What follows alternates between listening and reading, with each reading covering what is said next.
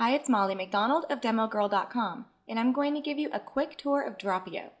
Dropio allows you to create private spaces called drops that you can use to share files, photos, video, audio, and more with exactly whom you want, how you want, for as long as you want.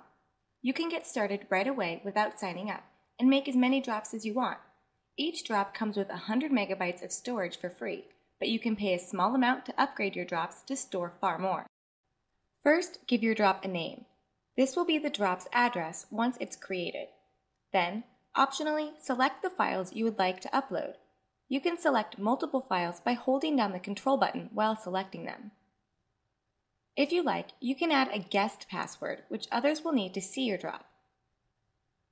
Choose when you want your drop to be deleted, anywhere from a day from now to a year from the last time the drop is viewed. You can also select the permissions you'd like other people viewing the drop to have. You can decide if you want others to be able to add to your drop, comment on your drop, or even delete things from your drop.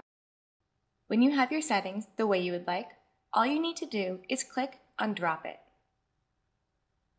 This may take a few moments as Dropio uploads your files and creates a converted version for easy web viewing.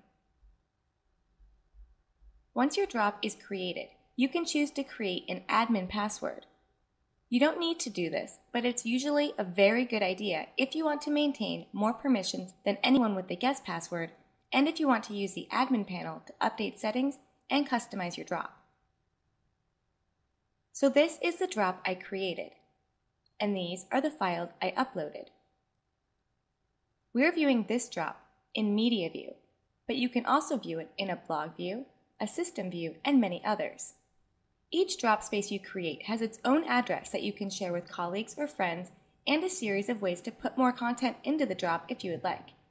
Each drop also has its own email address, so you can email and MMS files directly in and a private voicemail number so you can call and leave voice messages which are saved as MP3s directly in the drop. Each drop also comes with a private conference call line for meetings and can send and receive faxes. Of course, you can also add more files,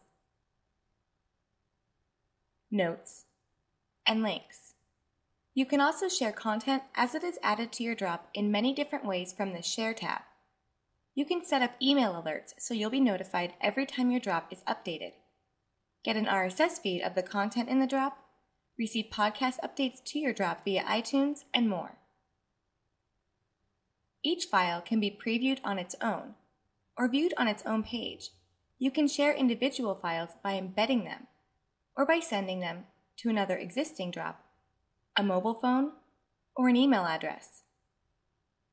You can comment on each file and of course, you can always download a copy of the original.